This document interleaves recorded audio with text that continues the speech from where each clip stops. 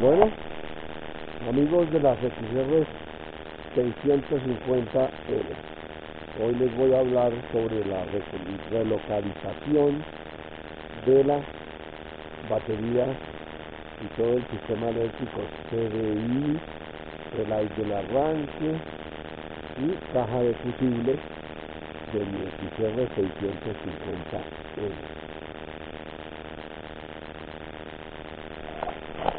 Como pueden ver pues aprovechando que tengo la moto ahorita haciéndole un eh, pequeño mantenimiento y aseo porque me gusta retirar el barro de las partes donde queda escondido. Entonces voy a mostrarles cómo básicamente hice esta adaptación. A mi modo de ver es la más sencilla. A mi modo de ver es la que menos eh, eh, modificaciones. Tiene que hacer en la moto. Algunos videos he visto en donde en la cajuela del filtro del aire hacen un pequeño corte para poder meter una batería debajo del asiento. Realmente no me pareció eh, eh, nada práctico porque una vez empecé a retirar las piezas y retirar la, la cajuela la cual ya ven que no está eh, me di cuenta que había un lugar donde yo podía localizar la batería sin ningún problema. Como ustedes pueden ver, aquí está el relay del arranque, la caja de fusible, que ahorita la mostraré por el otro lado, y por el lado del chasis ven un cablecito rojo, ahí viene trayendo un cable, por detrás, por detrás, por detrás, por detrás, hasta subirlo a la bolsa de herramientas. Abramos acá para poder ver perfectamente. Acá viene el cable. Y le hice un pequeño hueco a la bolsa de herramientas para poder instalar la batería Shorai de litio. Pueden escoger la que quieran. ¿sí? Quedó en la bolsa de herramientas. De manera que para mí fue la manera más práctica de hacer esta adaptación. Porque como ustedes pueden ver, en este lado quedó el relay del arranque cogido con una liga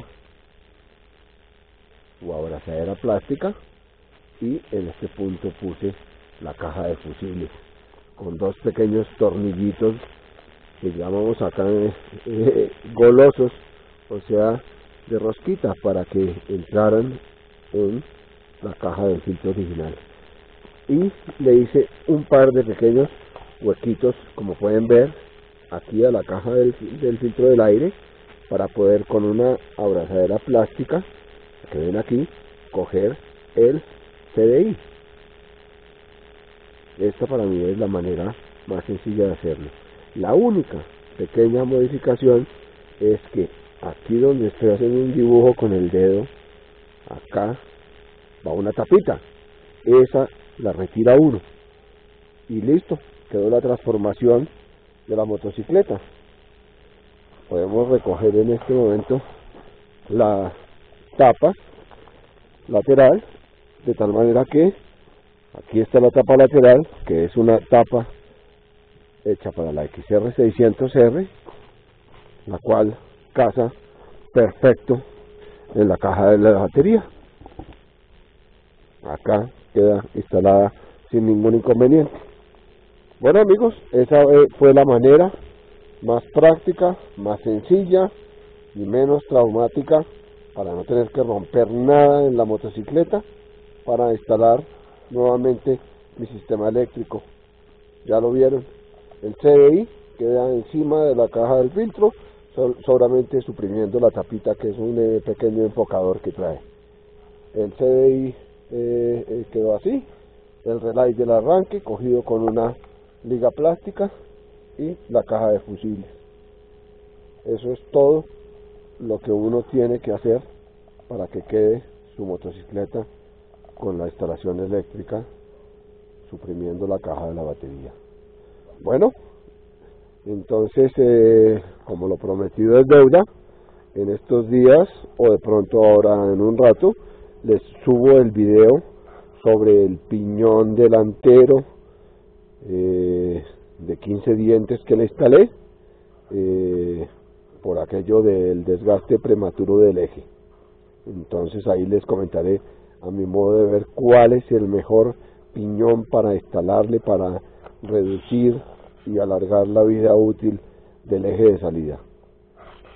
Felicidades, que estén muy bien.